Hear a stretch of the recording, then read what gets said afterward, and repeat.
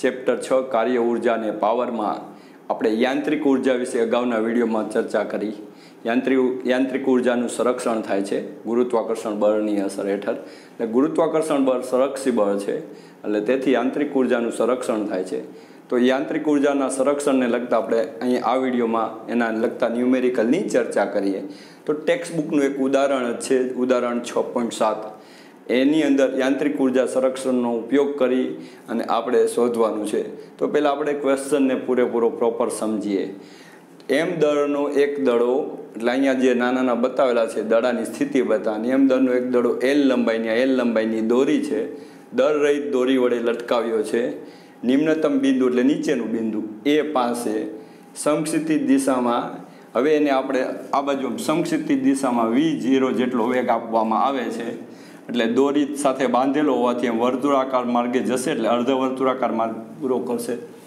ઉધ્વ સમતલ, આ ઊભું સમતલને ઉધ્વ સમતલ કહેવામાં આવે છે. એ ઉધ્વ સમતલમાં અર્ધ વર્તુળાકાર માર્ગે જાય છે આમ. તથા ફક્ત મહત્તમ ઊંચાઈ આવેલા, મહત્તમ ઊંચાઈ બિંદુ આવેલું સી પાસે દોરી ઢીલી પડે છે. એટલે આજે અહીંયા આપણે દોરી મૂકી હોય એમાં દર લગાડેલું એમ. એટલે એમ જી જેટલું વજન. એટલે આપણે અહીંયા એમ જી જેટલું વજન જે લાગે છે એન અને બીજું આપણે શીખી ગયા કે કોઈ પદાર્થ વર્તુળાકાર માર્ગે ગતિ કરે, તો ત્યારે તેના પર કેન્દ્રગામી અને બરાબર કેન્દ્ર ત્યાગી જેટલું બળ લાગતું હોય. એટલે જો અહીંયા આપણે એનો વેગ વી કહી, તો એમ વીસ જીરો સ્ક્વેર અપોન આર આરને બદલે એલ. આટલું કેન્દ્ર ત્યાગી બળ પણ લાગતું હશે જે નીચેની તરફ. એટલે આ બેયનું સમાસ બળ જેટલું બળ અહીંયા દોરીમાં ઉદ્ભવતું હશે. એટલે સી પાસે દોરી જે આકૃતિમાં દર્શાવેલ છે, તો આપણે આ બધું શોધવાનું છે. તો પહેલાં આપણે વાત કરી દઈએ અહીંયા બિંદુ એ પાસે પરિસ્થિતિ શું હશે. તો આ અર્ધવર્તુળાકાર માર્ગે એટલે આપણે આની અંદર એક કન્સેપ્ટ તો લેવાનો, કેન્દ્રગામી બળ બરાબર કેન્દ્ર ત્યાગી બળ અને કેન્દ્ર ત્યાગી બળમાં કેન્દ્ર ત્યાગી પ્રવેગ વિસ્ક્વેર અપોન આર જે અહીંયા આર વર્તુળાકાર માર્ગની ત્રિજ્યા જે અહીંયા આપણે દોરીની લંબાઈ સમજવાની અને ઊભા સમતલમાં વર્તુળાકાર માર્ગે ફેરવવામાં આવે છે. તો બિંદુ એ પાસે આપણે પહેલાં જોઈએ એ પહેલાં આપણે વાત કરીએ કે આ જે બો એમ દળનો દડો જે છે, એના પર કેટલા બળ લાગશે? એટલે એમ દળના દડા પર લાગતા બળો. દડા પર લાગતા બળો બે છે. પેલું ગુરુત્વાકર્ષણ બળ, એમજી, અને બીજું આની આપણે વાત કરી દઈએ તો કેન્દ્ર ત્યાગી બળ એટલે કે કેન્દ્ર ગામી એ બળ એને કારણે આ દોરીમાં ટેન્શન એટલે તણાવ બળ એટલે કે દોરીમાં તણાવ બળ આ બે બળો લાગે છે. હવે આપણે અહીંયા વાત કરીએ કે આ બોલ જે છે વર્તુળાકાર માર્ગે ફરે છે, તો એનો વર્તુળાકાર માર્ગ થયો. તો વર્તુળાકાર માર્ગના નાના નાના આપણે ટુકડા લઈએ આ રીતે. આ માનો કે વર્તુળાકાર માર્ગ છે. તો આપણે એનું આ નાનું એવું સૂક્ષ્મ સ્થળાંતર કહીએ, આ દોરીમાં ઉદ્ભવતું તણાવર કહીએ, અહીંયા આવે ત્યારે આ નાનું સૂક્ષ્મ સ્થળાંતર કહીએ અને દોરીમાં ઉદ્ભવતું તણાવબળ કહીએ. તો અહીંયા તણાવબળ અને સ્થળાંતર તણાવબળ અને સ્થળાંતર એમ દરેક પરિસ્થિતિ, દરેક બિંદુએ તણાવબળ સ્થળાંતરને લંબ છે. તેથી, એટલે આપણે અહીંયા વાત કરીએ કે તણાવબળ ટી લંબ છે સ્થળાંતર.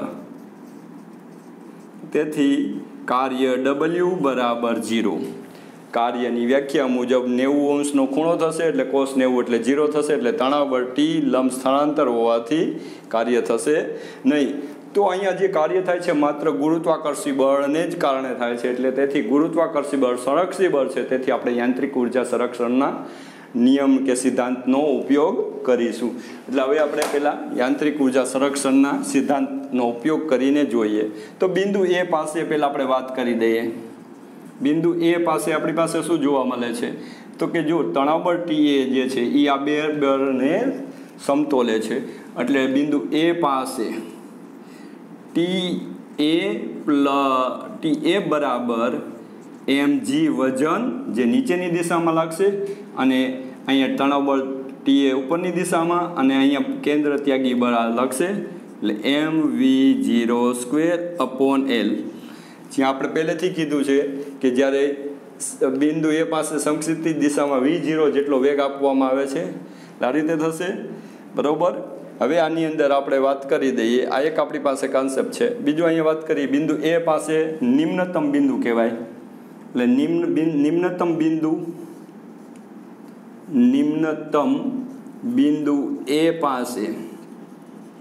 આપણે યાદચ્છિક રીતે સ્થિતિ ઊર્જા શૂન્ય લઈ શકીએ, એટલે કે વી એ બરાબર ઝીરો લઈશું. તો બિંદુ એ પાસે યાંત્રિક ઊર્જા યાંત્રિક ઊર્જા આપણે વાત કરી દઈએ, તો ઈ એ બરાબર ઈ એ બરાબર સ્થિતિ ઊર્જા વત્તા ગતિ ઊર્જા. સ્થિતિ ઉર્જામાં તો નિમ્નતમ બિંદુ છે એટલે ઝીરો લીધી અને ગતિ ઊર્જા એક દૂત્યાંશ એમ વીઓ સ્ક્વેર એટલે આપણી પાસે ઈ એ બરાબર આ એક આવશે. હવે આગળ આપણે વધીએ. આ રીતે થશે. તણાવ પર અહીંયા ટીએ મેક્સિમમ આવે. હવે એમ એમ કરતાં બોલ કે દડો જે છે એ ગતિ કરતો કરતો બિંદુ સી પાસે આવશે. તો બિંદુ સી પાસે આપણે અહીંયા એ જ કન્સેપ્ટ જોઈએ કે આ નીચેની દિશામાં વજન લાગશે અને ઉપર જે લાગશે કેન્દ્ર ત્યાગી બળ M V square upon R બિંદુ સી પાસે આપણે વાત કરી દઈએ કે અહીંયા દોરીમાં તણાવ બળ ઢીલી પડે છે એટલે કે તણાવ બળ શૂન્ય ગણશું. તેથી આપણે અહીંયા લઈ શકીએ કે એમ ને કોણ સમતોલશે? તો કે M V C square upon R આરને બદલે એલ જ્યાં વી સી શું છે કે બિંદુ સી પાસે દડાનો વેગ? પાસે દડાનો વેગ. એને આપણે નામ આપશું વીસી. બરોબર? એટલે અહીંયા કેન્દ્ર ત્યાગી બર એમ વીસી સ્ક્વેર અપોન આરને બદલે એલ લંબાઈ લેવાની. બરોબર? એટલે આ એક થશે. હવે બિંદુ સી પાસે આપણે જોઈએ. એટલે આપણે શેક આમાં આમાં આમ લઈ જઈશું. પછી પહેલાં આપણે બિંદુ સી પાસે યાંત્રિક ઊર્જા. યાંત્રિક ઊર્જા ઈસી બરાબર વિદ્યુત સ્થિતિ ઊર્જા વત્તા ગતિ ઊર્જા. તો ઈસી બરાબર સ્થિતિ ઊર્જા, તો બોલ પેલા અહીંયા હતો. ત્યારે એની સ્થિતિ જીરો, સ્થિતિ ઊર્જા જીરો લીધી. એલ લંબાઈ પ્લસ એલ લંબાઈ, એટલે ટુ એલ લંબાઈ જેટલો ઊંચો આવ્યો એટલે આપણે એમ જી એચ એચની જગ્યાએ ટુ એલ લઈશું. એટલે સ્થિતિ ઉર્જામાં આવશે એમ જી એલ ખરું પણ ટુ એલ એટલે અહીંયા ટુ લઈ લીધું. અને ગતિ ઉર્જાનું સમીકરણમાં એક દૂત્યાંશ એમ વીસી સ્ક્વેર તો ખરું જ તે. હવે જો અહીંયા એમ વીસી સ્ક્વેર છે, તો આપણે સામે એલ લઈ જાય એટલે એમ એલ થાય. એટલે એમ વીસી સ્ક્વેર બરાબર શું લખાય? એ આપણે આમાં જોઈએ. તો ઈ સી બરાબર ટુ એમ જી એલ વત્તા એક દૂત્યાંશ. આપણે એમ નામ રાખ્યું. અને આને એલ અહીંયા લઈ ગયા એટલે એમ વીસી સ્ક્વેર બરાબર એમ જી લખાશે ફરીથી. એટલે આ બે દુ ચાર ને એક પાંચ દુત્યાંશ થશે. એટલે ઈસી બરાબર પાંચ દુત્યાંશ એમ એલ થશે. હવે આપણે બિંદુ સી પાસે યાંત્રિક ઊર્જા ગોતી લીધી. બિંદુ એ પાસે યાંત્રિક ઊર્જા પણ આપણે પાસે જ છે. બિંદુ એ પાસેની આ રહી, આ બિંદુ બી સી પાસેની આપણે બે કહી. એટલે પર યાંત્રિક ઊર્જા સંરક્ષણના નિયમ મુજબ પરિણામ એક અને બે પરથી આપણે લખી શકીએ કે એક દૂત્યાંશ શું લખી શકીએ? પહેલાં અહીં આપણે વાત કરીએ કે એક અને બે પરથી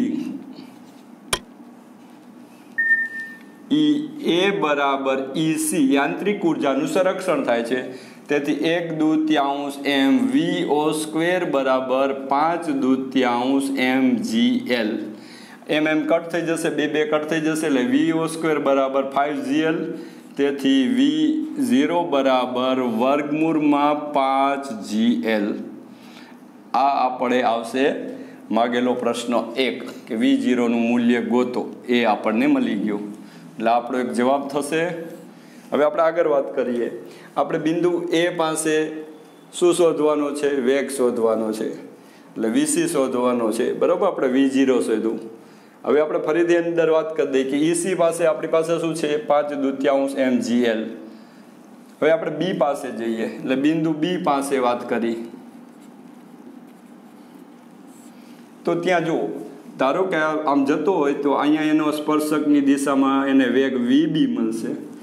તો અહીંયા ઈ બી બરાબર સ્થિતિ ઊર્જા વત્તા ગતિ ઊર્જા તો ઈ બીમાં આપણે સ્થિતિ ઉર્જામાં આપણે કેટલું? અહીંથી એલ ઊંચાઈ જેટલો ઊંચો ચડ્યો છે, એટલે એમ જી એચમાં એચની જગ્યાએ એલ મૂકી દઈશું, એટલે એમ જી એલ વત્તા એક દૂત્યાંશ એમ વી બી સ્ક્વેર આ રીતે થશે? બરોબર? એટલે આપણી પાસે આ આવ્યું. બી પાસેની યાંત્રિક ઊર્જા. હવે અહીંયા વાત કરી દઈએ એ બી થશે. પાછું યાંત્રિક ઊર્જા સંરક્ષણના નિયમ મુજબ આપણે લઈ શકીએ. કે યાંત્રિક ઊર્જા સંરક્ષણના નિયમ મુજબ આપણે ઈ બી અને ઈ સીને સરખાવી શકાય અથવા આ લઈ શકાય. એટલે આપણે આને લઈએ. બરોબર? યાંત્રિક ઊર્જા સંરક્ષણના નિયમ મુજબ ઈ બી બરાબર ઈ એ. બિંદુ બી પાસેની યાંત્રિક ઊર્જા એ પાસેની. એટલે એમ જી એલ વત્તા બરાબર વત્તા એક દૂત્યાંશ એમ વી બી સ્ક્વેર બરાબર ઈ એ. એટલે કે એક દૂત્યાંશ એમ વી ઓ સ્ક્વેર. હવે આપણે આને પહેલાં લખીએ. એમ જી એલ વત્તા એક દૂત્યાંશ એમ વી બી સ્ક્વેર બરાબર એક દૂત્યાંશ એમ. વી ઓ સ્ક્વેરમાં આ રહ્યું એમ એમ કટ થઈ ગયા. બે બે કટ થઈ ગયા એટલે M by two, M by two cut થઈ ગયા એટલે વીઓ સ્ક્વેર બરાબર ફાઇવ જીએલ છે. એટલે આપણે ફાઇવ જી એલ મૂકી દઈએ. એટલે આવશે આપણી પાસે પાછું બધે બધેથી એમ એમ કટ કરી નાખીએ, અથવા તો રહેવા દઈએ, ચલો. એટલે પાંચ દૂત્યાંશ એમ જીએલ થશે. એટલે આને આ બાજુ લઈએ. એટલે એક દૂત્યાંશ એમ વી બી સ્ક્વેર બરાબર પાંચ દૂત્યાંશ એમ જી એલ ઓછા એમ જી એલ એટલે અહીંયા બે બે પાંચમાંથી બે જાય લસાલ એટલે ત્રણ દૂત્યાંશ. એટલે એક દૂત્યાંશ એમ વી બી સ્ક્વેર બરાબર ત્રણ દૂત્યાંશ M G L M by two M by two cut કરો. એટલે વી બી સ્ક્વેર બરાબર ત્રણ એ ત્રણ જી એલ આવશે. તેથી વી બી બરાબર વર્ગમૂળમાં ત્રણ જી એલ એટલે આપણે બી બિંદુ પાસે એનો વેગ પણ મળી ગયો. હવે સી બિંદુ પાસે આપણે એનો વેગ જોવાનો છે. તો આપણી પાસે અહીંયા વી સી શોધવાનો છે. આમાં આપણે મૂકી દઈએ. એટલે એમ જી એલ થશે એમ એમ કટ થશે, એટલે વી સી અહીંથી જ મળી જશે. બિંદુ સી પાસેનો વેગ. તો બિંદુ સી પાસેનો વેગ વીસી બરાબર એમ એમ કટ કરો. જીએલ આવશે ને જીએલનું વર્ગમૂળ. એટલે આ એક આપશે બિંદુ સી પાસેનો વેગ આપણને મળ્યો. એટલે આપણે જોયું અહીંયા એક પ્રશ્ન વીઓ મળી ગયું. પછી બિંદુઓ બી અને સી પાસેની ઝડપ. બિંદુ બી પાસેની ઝડપ વર્ગમૂળમાં ત્રણ જીએલ બિંદુ એ પાસે આપણે કેટલી ઝડપ આપવાની? તો કે વર્ગમૂળમાં પાંચ જીએલ પછી અહીંયા આવતા આવતા વર્ગમૂળ ત્રણ જીએલ અને અહીંયા આવતા એક જીએલ આ રીતે થશે. એટલે બીજો પ્રશ્ન પણ પૂરો થશે. હવે ત્રીજો પ્રશ્ન. બી અને સી પાસે ગતિ ઉર્જાનો ગુણોત્તર શોધવાનો છે. તો બિંદુ બી પાસેની ગતિ ઊર્જા કે બી બિંદુ સી પાસેની ગતિ ઊર્જા કે સી? બરાબર એક દૂત્યાંશ એમ વી બી સ્ક્વેર, એક દૂત્યાંશ એમ વીસી સ્ક્વેર, એક દૂત્યાંશ એમ કટ થઈ જશે.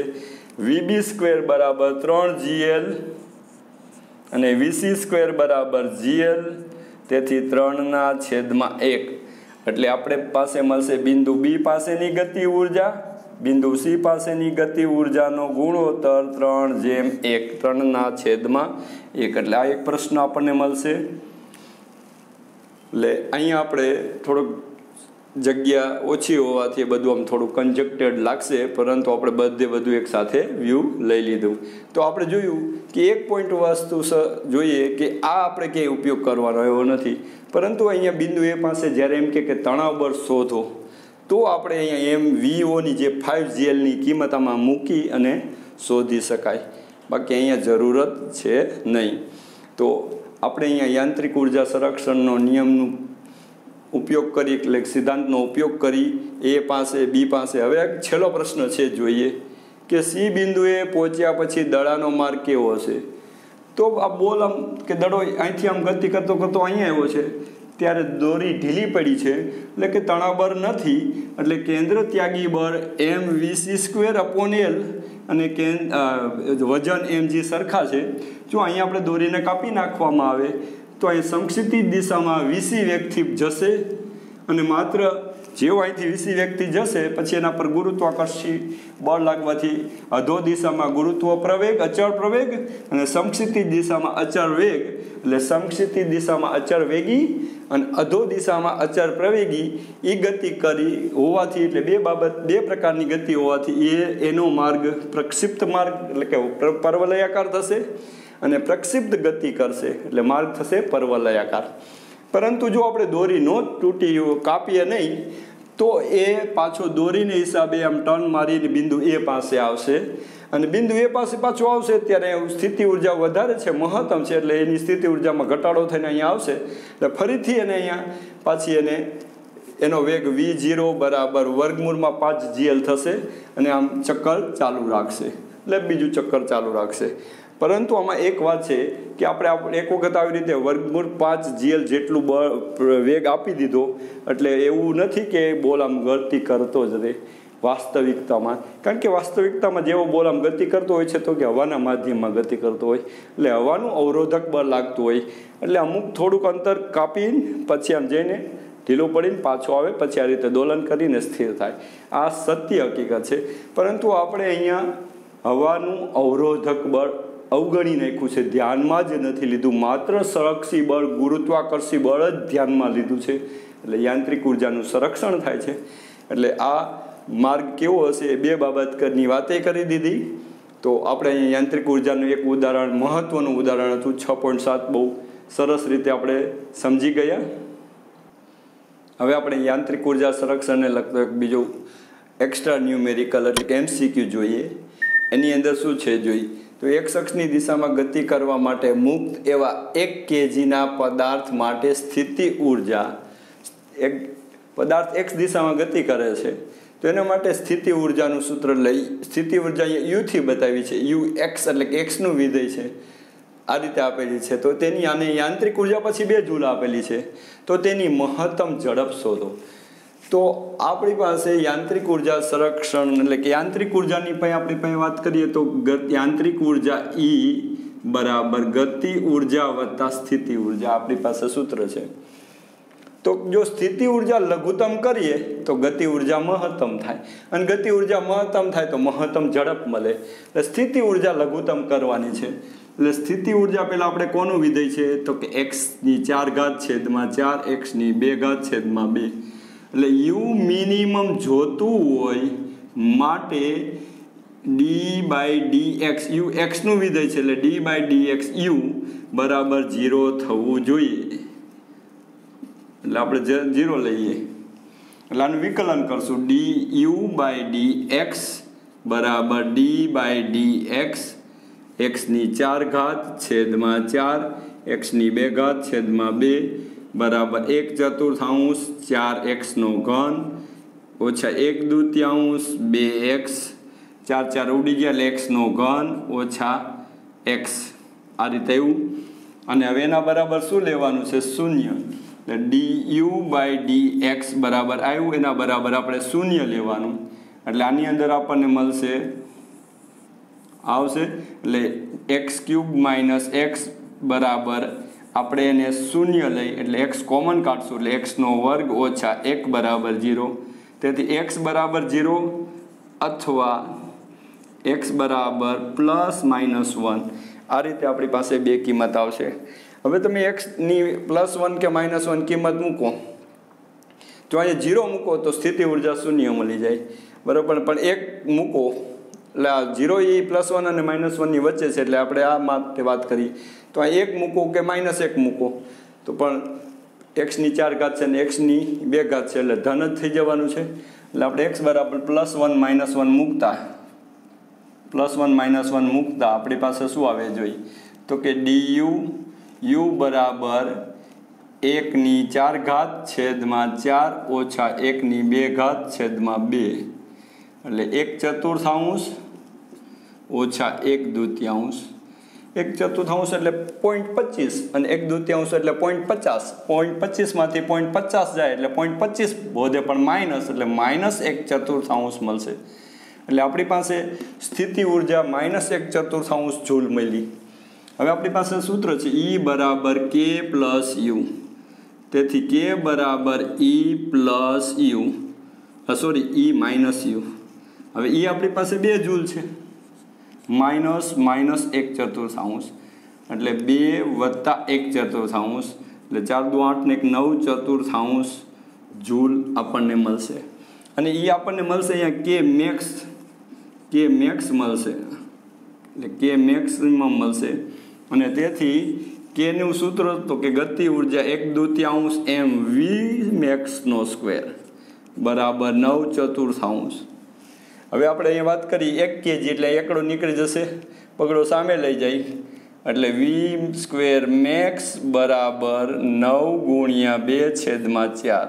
એટલે વી સ્ક્વેર મેક્સ બરાબર નવ દુત્યાંશ. તેથી વી મેક્સ બરાબર ત્રણના છેદમાં વર્ગમૂળ બે મીટર પ્રતિ સેકન્ડ.